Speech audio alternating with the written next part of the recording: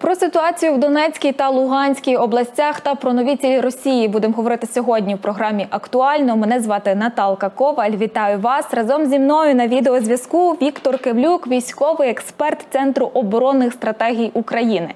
Вітаю вас. Добрий вечір. Перше, що хочу запитати, бо зараз всі зосередили свою увагу власне на Донецькому напрямку, де кажуть, що все-таки конфлікт е, посилюється. Розкажіть, яка там ситуація станом на сьогодні? Е, в мене немає достатньої інформації, щоб розповісти докладно, яка там ситуація сьогодні. Е, ведуться активні бойові дії на, в районі міста Ізюм. Противник намагається прорватися в напрямку на Борвенкова е, та Славянськ-Краматорськ. І е, дуже гаряче на ділянці е, Сватова, Кремінна, Рубіжне, Попасна, Золоте, Сєвєродонецьк. Противник намагається прорватися скрізь оборону об'єднаних сил і так само вийти на Сватово на Славянськ-Краматорськ. Це найбільш гарячі ділянки на сьогодні. Одні е, експерти кажуть, що буквально за тиждень-два ми зможемо е, перемогти на тому напрямі. Інші ж кажуть, що знадобиться кілька місяців, якщо не більше часу. Що ви про це думаєте, і від чого буде залежати той результат? Я думаю, що ні ті експерти, ні ті експерти не праві. Е, ми хочемо, щоб все закінчилося швидко, але так не буває.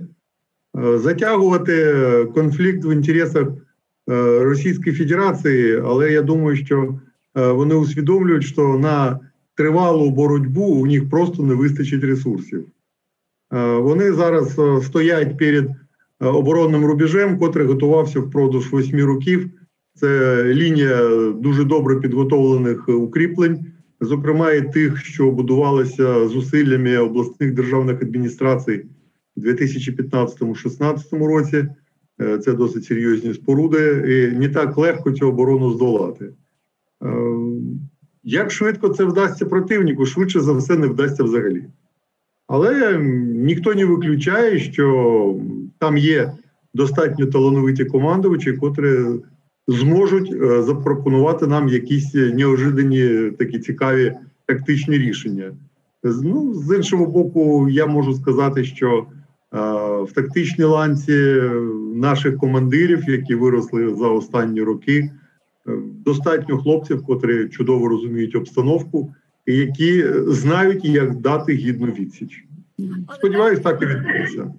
Але кажете, що Росія абсолютно не готова до затяжної війни. Правильно, в них немає на це ресурсу. Коли мова йде про війну, такі слова як абсолютно абсолютно недоречні. Е, Росія має певну цілу таку довгу низку проблем. Е, насамперед, е, головною проблемою для них сьогодні є те, що найбільш підготовлені військовослужбовці були вибиті на першому етапі впродовж першого місяця війни. Їх потрібно ці кимось заміняти. Адекватний по якості по рівню підготовки заміни фізично немає і взяти його нема де. Втрати молодшого офіцерського складу для них критичні, бо підготувати інший, взяти якийсь інший, який має досвід сучасної війни, також взяти нема де. Росія втратила найбільш боєздатну частину техніки. Якщо підсумувати зведення, яке публікує Генеральний штаб, виходить, що противник втратив близько половини танків, які у них були на початку вторгнення, більше половини бойових броньованих машин, до половини літаків, е, близько до того гелікоптерів ударних. Е, відповідно, суттєві втрати у противника в артилерії, зокрема в реактивних системах залпового вогню, все це має бути чимось е, компенсовано.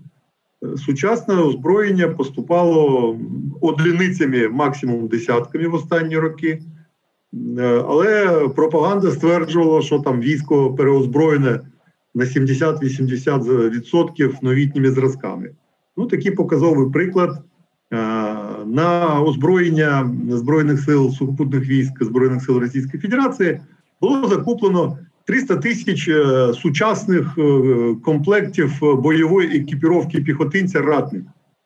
За 55 діб війни е, нам жодного разу не вдалося не лише взяти полон когось в цій екіпіровці, але й хоча б його здалеку в бінокль побачити. Тому і другий такий великий друг Збройних сил України то російська корупція. От е, ці, ці проблеми, які я окреслив, е, оперативно здолати не вдасться. Відповідно, це буде очередна кампанія в стилі е, закидати шапками. Стягуються з усієї країни, переважно із Уральських гір, з Далекого Сходу, з баз зберігання Центрального воєнного округу. Вже як пан Арістович доповідав, зразки озброєння 60-х років випуску. Тобто боротьба переходить в таку фазу, коли війську 21 століття буде протистояти чисельне, але погано забезпечене військо, яке діє за стандартами, екіпіровано за стандартами середини минулого століття. Чисельність в тому випадку, яку відіграє роль? Е, кількість мала значення в часи рицарських поєдинків, коли більш сильний перемагав більш слабого. Е, коли винайшли пулемет, е, відповідно, один хилий хлопчик з кулеметом спокійненько міг дати ради сотні атакуючих, що й було продемонстровано в часи Першої світової війни. Ця тенденція збереглася, але на сьогодні, крім можливості зброї, додалися можливості систем розвідки, систем управління. Хто оперативніше приймає рішення, той і переможе. І від чисельності збройних сил це залежить все менше і менше. Перемагають технології. Які станом на сьогодні є стратегічні цілі Росії? Е, стратегічні цілі Росії незмінні впродовж останніх 400 років: знищення української держави знищення української нації. Нічого не змінилося. Якщо говорити про якісь точкові е, на лінії фронту, що зараз для них є важливим захопити в першу чергу? Ми бачили, що на початку війни всі хотіли, звісно, е, в перший день за 3-4 години зайти в Київ. Не вдалося. Що тепер є у їхньому військовому пріоритеті? Російська сторона сама себе загнала в кут. І е, на сьогодні їм вкрай важливо вирішити два завдання: Перше завдання захопити хоч що-небудь, поставити там е, російський прапор і сказати, оце наша видатна перемога.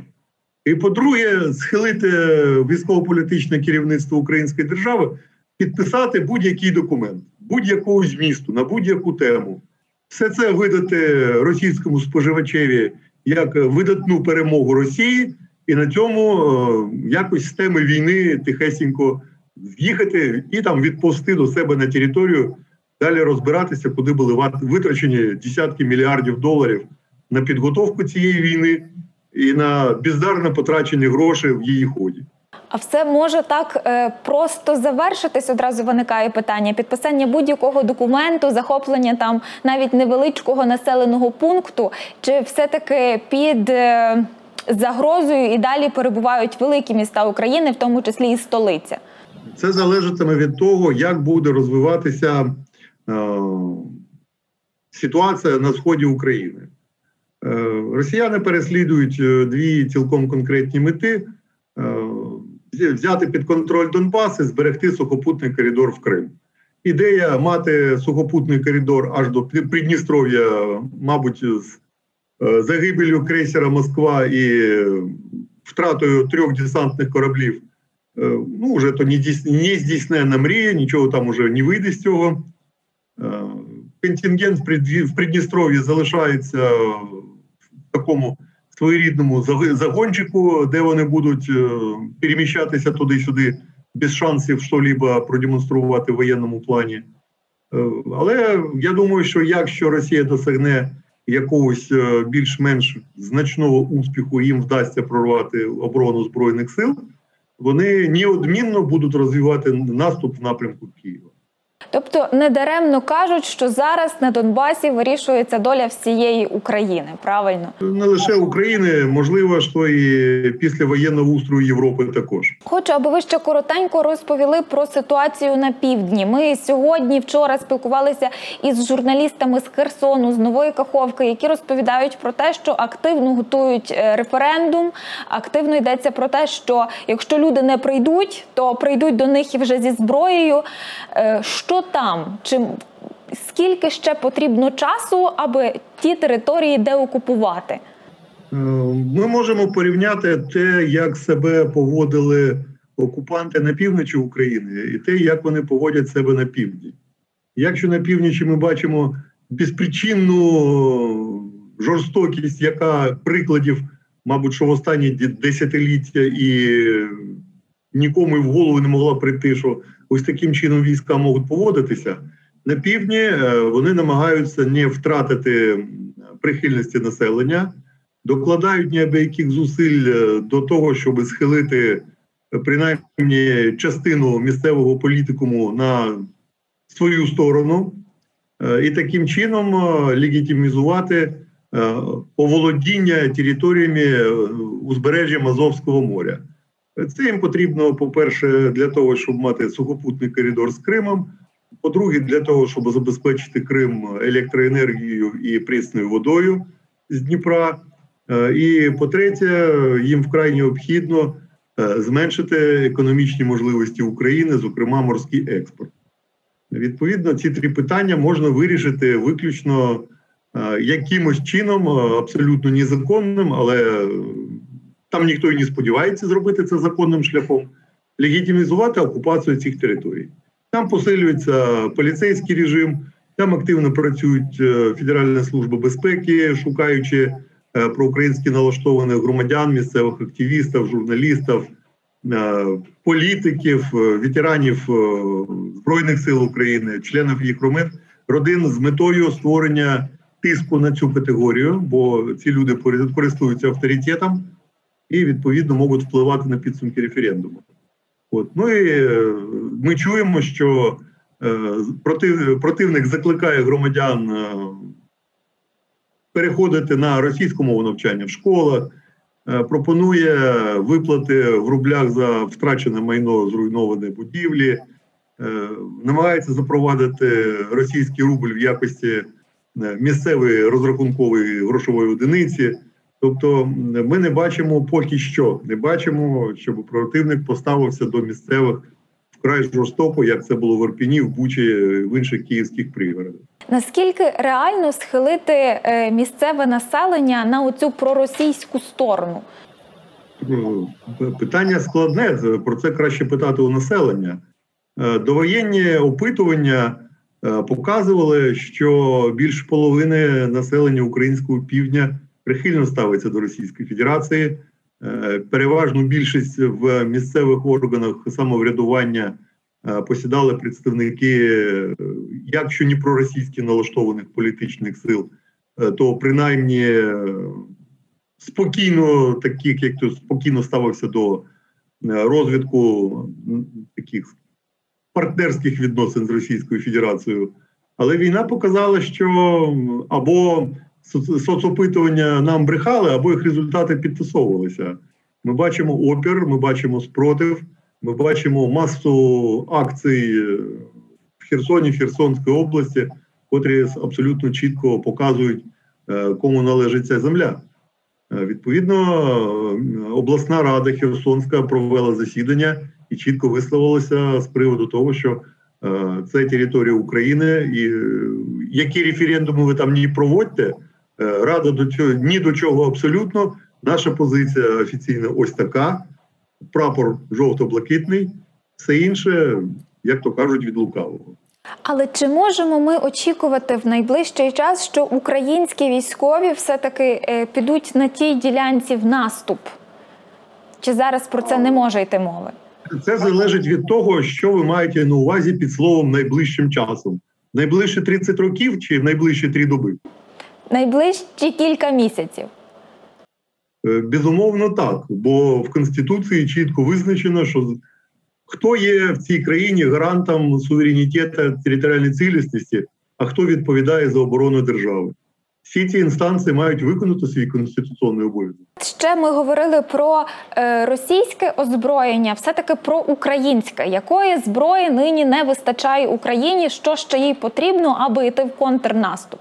Е, це залежить від того, яким шляхом буде розвиватися події в Україні.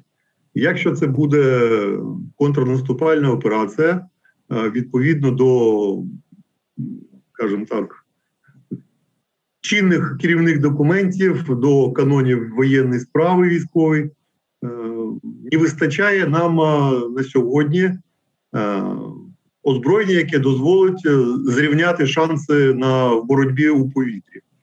Противник не має панування, але він має перевагу. Ця перевага буде заважати. Е, по-друге, нам не вистачає засобів дальнього ураження з тим, щоб е, дезорганізовувати резерви, систему управління, систему зв'язку, протиповітряну оборону противника. Трошки не достаємо там, де треба діставати. Е, третє питання, на яке б я звернув увагу, безумовно, ми зазнаємо втрат, інакше бути на війні не може. Е, втрачаємо і елементи протиповітряної оборони, танки, бойові машини піхоти.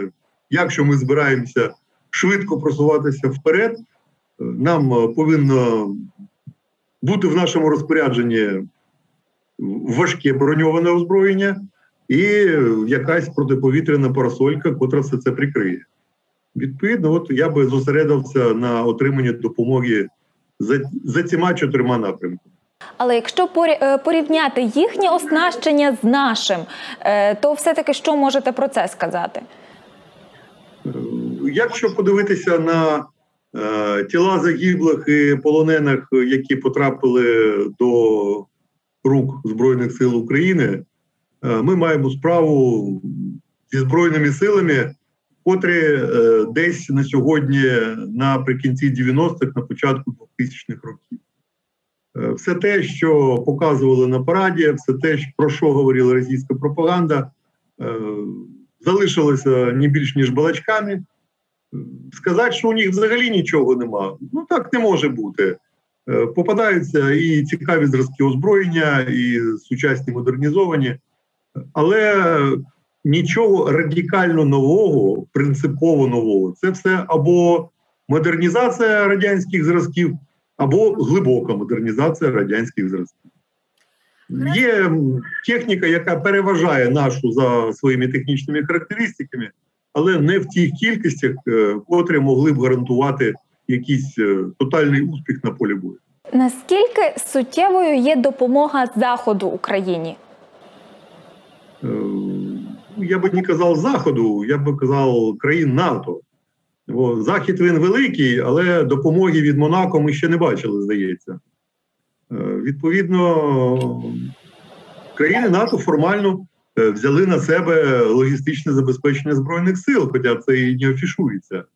До війни Україна мала лише 10%, наприклад, власного виробництва для покриття потреби в дізельному пальному все інше надходило з Російської Федерації і Білорусі. Е, питання: 55 діб війни.